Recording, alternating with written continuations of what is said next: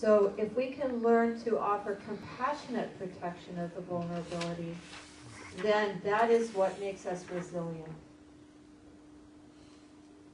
So listening to our heart is the uh, the next kind of dialogue. We listen to our body, we listen to our heart, but then we bring um, a curiosity to the stories that we're telling ourselves. And uh, before we can um, investigate what is true, we have to hear what we're afraid of.